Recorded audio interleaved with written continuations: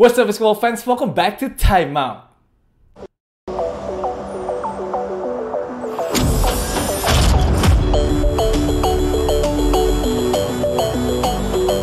Gue Ricky Padilla, kita kembali lagi ke Info Basket Harian itu edisi 30 November 2020 Time Out Geng, kita baru aja selesai nobar untuk IBL Draft Night. Seru banget dan gue gak nyangka juga sih ternyata yang join rame banget. Apalagi tadi satu jam pertama gue happy banget sih bisa berinteraksi dengan kalian semua Menjawab beberapa pertanyaan yang menurut gue sangat menarik sekali. Jadi sekali lagi gue ingin ucapkan terima kasih banyak hari yang sudah meluangkan waktunya dan sudah join live stream gue Tadi memang sayangnya yang part keduanya itu di take down videonya gue juga kaget banget. Ternyata IBL tadi uh, memberikan gue peringatan untuk copyright sehingga gue tidak bisa melanjutkan live stream gue. Jadi sekarang ini gue ingin memohon maaf kepada uh, eh, IBL bila gue tadi sudah melanggar peraturan mereka. Gue sih tadi memang niatnya hanya ingin nobar aja memberikan live reaction dan juga seru-seruan aja dengan subscribers gue. Tapi ternyata tadi memang harus di take down videonya. So um, gue minta maaf sekali lagi kepada IBL. Ini merupakan pelajaran yang luar biasa untuk gue ke depannya. Jadi kalau mungkin gue ingin bikin live stream untuk nobar lagi ke depannya, gue nggak akan share screen. Mungkin gue hanya jadikan TV TV gue sebagai background aja seperti saat kita kemarin nonton FIBA Asia Cup Qualifiers bareng-bareng. Jadi uh, sekarang ini channelnya sudah kena satu kali copyright, copyright strike itu artinya seminggu ke depan gue tidak akan bisa melakukan live stream dengan kalian jadi mohon bersabar uh, dan seminggu ke depannya kita hanya bisa ngobrol lewat video-video biasa aja seperti video time out. So once again thank you so much semuanya untuk supportnya and also once again gue mau bilang kepada IBL maaf sekali kalau memang tadi gue melanggar aturan dari mereka. Oke, okay, sekarang kita akan masuk ke episode timeout hari ini. Gue tahu tadi hari ini sebenarnya siang gue udah bikin video timeout, tapi pas gue lihat kualitas audionya jelek banget, sehingga gue akan melakukannya lagi. Jadi ini beritanya agak ngulang-ngulang. Yang pertama kita akan ngomongin tentang Yanis Antetokounmpo. Kita tahu para fansnya Milwaukee Bucks saat ini masih bingung nih apakah Yanis akan sign Supermax atau tidak. Tapi yang pasti Yanis sekarang dari Eropa sudah OTW ke Milwaukee. Ini kita tahu NBA training camp akan dibuka dua hari lagi. Tapi kok feeling gue sih Yanis akan sign Supermax contract. Dan itu kenapa menurut gue Bam Adebayo main di extend sama Miami Heat karena mereka juga punya agent yang sama. Jadi gue gak akan kaget kalau Yanis akan sign sebentar lagi. Lalu juga Anthony Davis tampaknya bisa mengikuti jejaknya Yanis juga untuk sign kontrak barunya dia bersama Los Angeles Lakers. Kemarin ini memang gue udah mendapatkan beberapa pertanyaan kak kok uh, eh, AD belum tanda tangan kontrak sih dengan Lakers? Nah ini kita tahu memang AD kayaknya masih memantau situasi Yanis. Bila Yanis punya kesempatan diambil sama Lakers jelas struktur kontrak kontraknya akan diatur sama AD agar Lakers in play ataupun memiliki kesempatan untuk mengambil Giannis Antetokounmpo ke depannya. So kira-kira seperti itu untuk Giannis Antetokounmpo. Sekarang kita akan ngomongin tentang Nicholas Batum. Nicholas Batum kita tahu uh, baru aja di wave sama Charlotte Hornets setelah mereka mendapatkan Gordon Hayward.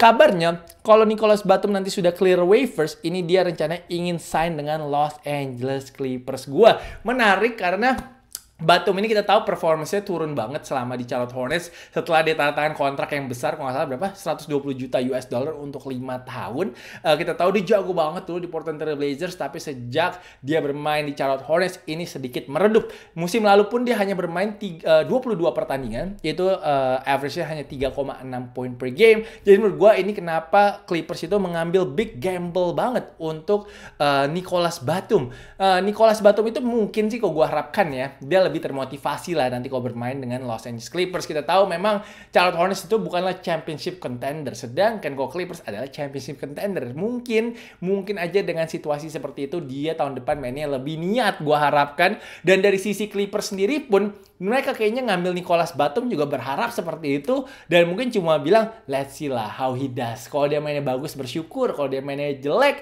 ya mungkin ditaruh di rotasi aja nantinya.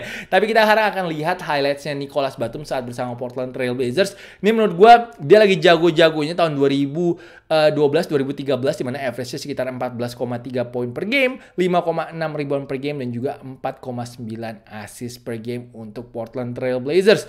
Dan gue tahu uh, Nicholas Batum itu adalah pemain yang bagus sebenarnya. Kita bisa uh, Clippers itu bisa memanfaatkan dia untuk defense karena dia tangannya panjang, size-nya bagus, bisa menjaga wing player lawan, lalu juga bisa untuk rebounding. Dan kalau kalau kalau big if kalau dia bisa nembak three point shot kayak dia tahun 2018 2019 di Charlotte itu kalau salah 39% itu kalau dia bisa nembak seperti itu di Clippers wah ini jelas akan menjadi signing yang luar biasa. Karena kita tahu Clippers itu butuh pointer dan juga playmaker. Nah, ngomongin play playmaker, uh, dia ini bisa jadi secondary playmaker. Mungkin kalau Paul George capek, Nicholas Batum juga bisa bawa bola. Gue sih lihat dia permainan itu dia bisa sih ngatur tempo, ngatur permainan dan juga asis-asisnya lumayan oke. Okay. Jadi itulah yang gue harapkan dari Nicholas Batum. Dan sekarang kita lihat ini line up-nya dari uh, Los Angeles Clippers. Guard point guardnya ini masih kosong banget menurut gue. Mereka masih butuh floor general.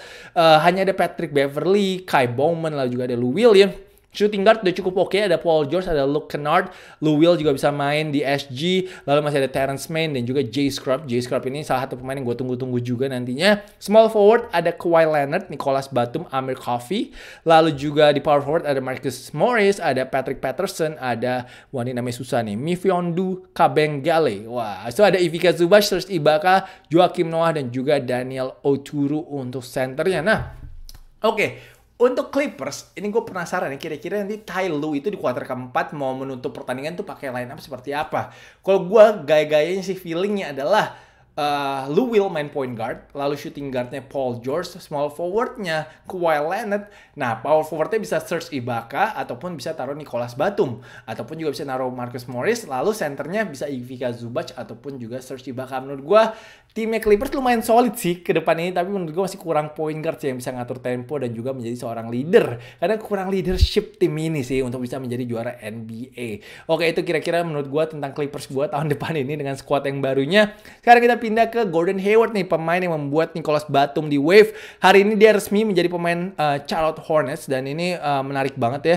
Um, Celtics itu mengirim dua second round pick sedangkan Celtics akan mendapatkan seorang eh seorang lagi akan mendapatkan uh, protected 2022 second round pick dan juga trade exception sebesar 28,5 juta US dollar. Trade exception ini gue juga sebenarnya nggak paham-paham banget. Kita tahu masalah salary itu di NBA sangat kompleks sekali. Nah, oh gue baca-baca tentang trade exception ini adalah uh, Boston Celtics boleh melakukan trade dengan pemain mana pun, tim mana pun, asalkan salary-nya tidak sebesar 28,5 juta US dollar menurut gue Boston Celtics akan pakai trade exception ini. Mungkin mid season atau pas lagi trade deadline kayak nggak akan dipakai sekarang. Karena mungkin mereka akan lihat dulu untuk evaluasi timnya mereka kurangnya apa. Tapi menurut gue Celtics timnya sih masih kurang bagus. Walaupun mereka sudah menambahkan Jeff Tick, uh, Tristan Thompson lalu juga ada Aaron Naismith. Menurut gue mereka masih butuh satu big man lagi mungkin untuk bisa masuk ke NBA Finals. Jadi menarik kita lihat nanti bagaimana pergerakan dari Danny Ainge dan juga Boston Celtics. Oke okay. Sebelum kita pindah ke high school basketball, gue ingin memperlihatkan, kita tahu Lakers kehilangan 6 pemain ini yang di kiri. Nah, Total mereka kehilangan sebenarnya 9 pemain yang mencetak poin sekitar 2.667 poin combined last year. Tapi mereka menambahkan 5 pemain boleh dibilang ada uh, Dennis Schroeder, Montrezl Harrell, Montrezl Harrell, lalu juga Wesley Matthews, ada Mark Gasol, satu lagi gue nggak tahu siapa yang dimaksud mungkin Alfonso McKinney. Ini mereka skor 33 eh sorry 3740 combined. So it is safe to say the offense is likely to be elite this season.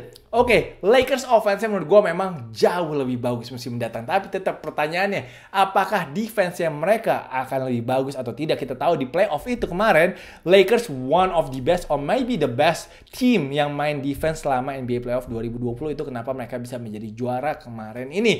Kita tahu mereka kehilangan Danny Green, Rondo, Dwight Howard. Menurut gue itu tiga pemain sangat essential sekali untuk defense yang Los Angeles Lakers. Tapi nanti kita lihat aja gimana kelanjutannya. Menurut gue sih mereka masih jadi salah satu tim terkuat di NBA saat ini. Next, kita akan ngomongin tentang JD Davidson. Ini merupakan seorang guard. Gue nggak tahu nama high schoolnya apa, tapi dia kemarin ini mencetak 40 poin di pertandingan ini dan kalau kita lihat dia seorang guard tingginya sekitar 188 cm eksplosif sekali ini ngedangnya gila banget sih ini anak.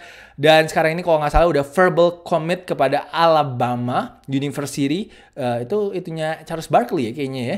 Alumni kalau gue nggak salah tapi kalau gue salah jangan di jangan diapain di comment section. Nah ini dang yang paling gila yang gue mau kasih lihat kalian dia bener-bener gila men. Gila itu hanya bisa dilihat di slam dunk contest biasanya tapi dia coba melakukannya in game. Itu apa ya sebutannya? Gue juga nggak tahu sebutan dunk itu apa tapi menurut gue itu luar biasa sekali. Dan anak ini sangat eksplosif sekali jadi kita akan pantau dia terus nantinya. Oke sekarang kita akan pindah ke IBL sebelum kita ngomongin IBL rookie draft tadi kita akan ngomongin tentang peraturan baru nih tentang pemain naturalisasi di mana ini ada kemajuan besar menurut gue dari IBL. Kita tahu uh, beberapa pemain naturalisasi ingin sekali bermain di IBL lagi seperti Jamar Johnson, lalu juga uh, ada B-Boy. Di mana nih katanya uh, tahun depan itu kayaknya ya, di tahun 2002 sa uh, saat saat nanti boleh pakai pemain asing lagi sih setahu gue ini. Di mana uh, setiap tim itu boleh mengambil satu pemain naturalisasi. Mungkin yang sudah punya paspor Indonesia dan mereka tetap boleh mengambil dua pemain asing. Jadi uh, dua pemain asing plus satu pemain naturalisasi setiap tim boleh ambil tapi setiap kali ada di lapangan mereka itu hanya boleh tetap dua orang aja kuotanya. Jadi satu pemain asing satu pemain naturalisasi atau dua-duanya pemain asing. Jadi seperti itu. Tapi menurut gue ini adalah sebuah kemajuan dari IBL karena kita juga pengen ya pemain-pemain seperti Jamar Johnson, seperti Bibo ini tetap bermain di liga kita karena fansnya mereka menurut gue garis keras sih. Banyak sekali fansnya Jamar yang bener fanatik banget. Jadi gue rasa mereka akan happy banget dan kita udah lama banget nih ngeliat Jamar bermain di IBL. Terakhir mungkin saat dia cedera Achilles itu ya di Satria Muda, padahal sebelumnya mereka menjadi juara juga bersama uh, sebelum setahun sebelumnya Jamar jadi juara bersama Satria Muda Pertamina. Jadi gue harapkan sih uh, peraturan ini akan lebih jelas lagi karena kita tahu IBL ini uh, suka apa ya suka kurang jelas, kita kurang komunikasi. Mungkin kalau lebih komunikasinya lebih bagus kepada fansnya, kepada publiknya, ini akan menjadi hal yang lebih baik ke depannya agar kita semua jelas nih, oh peraturannya ini loh, lebih transparan lagi ke depannya.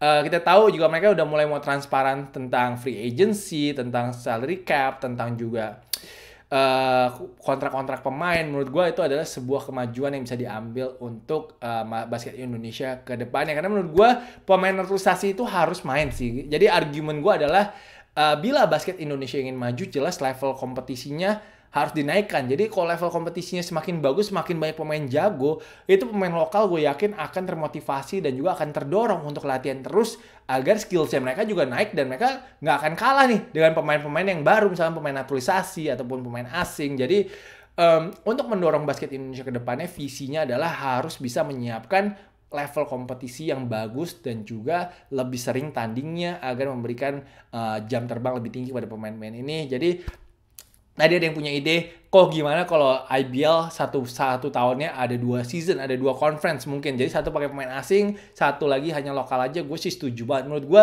satu tahun itu at least kompetisi harus jalan 6 sampai 7 bulan lah, 6 sampai 8 bulan lah. Itu idealnya agar pemain kita bisa terus mendapatkan latihan, pertandingan dan juga bisa mengasah skill. Saya menurut gue, I think that's will, that will be great kalau itu ke depannya bisa diaplikasikan ke IBL. Oke, karena kita akan ngomongin IBL draft baru aja terjadi maaf gue belum ada belum ada uh, untuk gambar-gambarnya untuk tim baru tapi yang pasti kita ngomongin pertama adalah Yuda Yuda hari ini tadi di uh, draft oleh Prawira Bandung kita tahu dan sekarang ini kita tapi kita belum jelas nih apakah Yuda dan juga pemain-pemain timnas elit muda lainnya boleh membela timnya atau harus ikut timnas elit muda nih. Jadi kita tunggu nanti dari informasinya dari IBL. Tapi Yuda adalah menurut gua the best player in this draft class di mana dia agresif banget untuk ITHB, dia point guard yang bisa ngoper, bisa ngatur serangan dan juga bisa nembak 3 point. Jadi menurut gua uh, Prawira Bandung mendapatkan seorang pemain yang hebat sekali. Lalu Pelita Jaya dengan mengejutkan akhirnya mengambil seorang Muhammad Arigi dari Universitas Pelita Harapan. Nah Arigi juga posisinya sama seperti Yuda. Apakah dia bisa main untuk Pelita Jaya atau tidak kita belum tahu musim datang ini.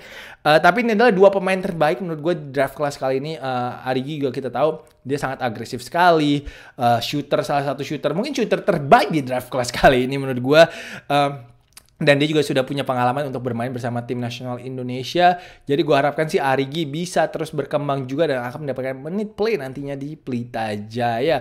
Oke, untuk Prawira Bandung, untuk Yuda, gue harapkan dia mendapatkan menit juga. Dia tuh, wah situasinya luar biasa sih. Dia ada Arif Hidayat, ada Divta Pratama, ada Hans Abraham. Jadi dia punya mentor sebenarnya banyak banget nih nanti untuk belajar. Apalagi juga di timnas kemarin dia udah pasti belajar baik dari Abraham, dari Pras. Jadi, uh, man, bisa menjadi salah. Ini dua orang ini nih, Arigi sama Yuda nih bakal bisa menjadi uh, Rookie of the Year kalau memang bermain untuk klubnya masing-masing. Dan Arigi pun juga luar biasa akan menjadi tandemnya Prastawa nantinya lalu juga ada Govin di sana masih, uh, lalu ada Gabriel Batistuta, lalu ada uh, Wicak ada Wicak juga nantinya.